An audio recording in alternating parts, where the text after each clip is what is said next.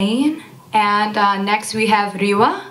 Uh, she is uh, she runs Sukoon magazine. You guys should check it out, and she'll say more about herself when she comes up. Everybody, give her like a warm round of applause.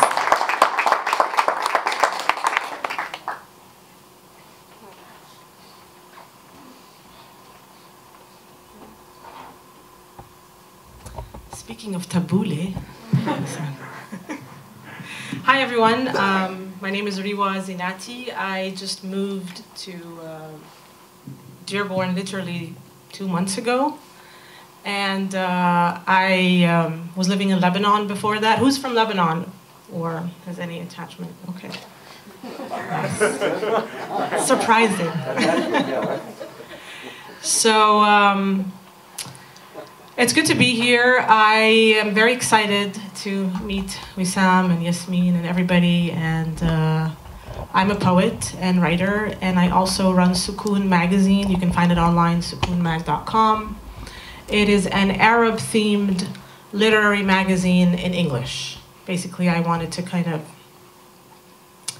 um, create a platform for Anglophone Arab writers. I don't think we have enough of those, and I felt like uh, we have a voice, and uh, we're doing pretty good.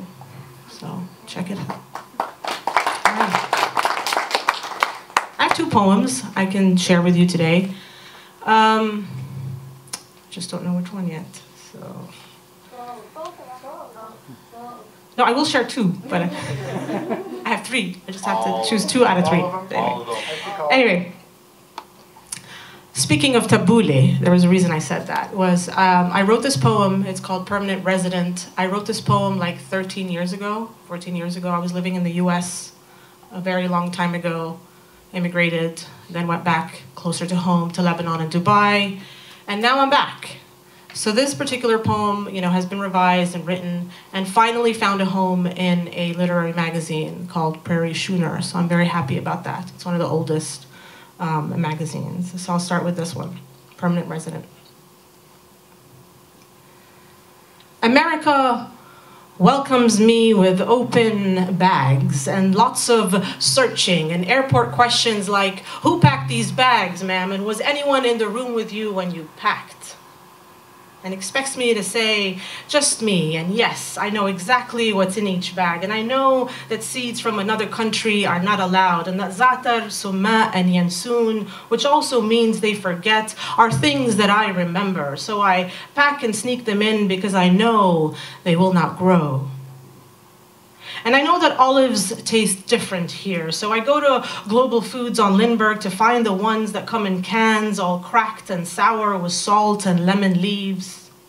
And I walk to the aisle where I find my flag with the evergreen tree in the middle.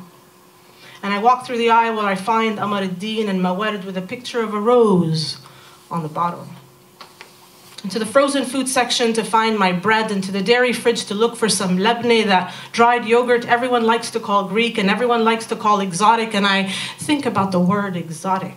And I taste it in my mouth, my tongue bitter and starved for the tang of cardamom in my coffee and pine seeds and my rice and the sizzle and stink of a thousand garlic cloves mashed and mixed and forgotten at the very bottom of a large cooking pot. Thank you. That was it.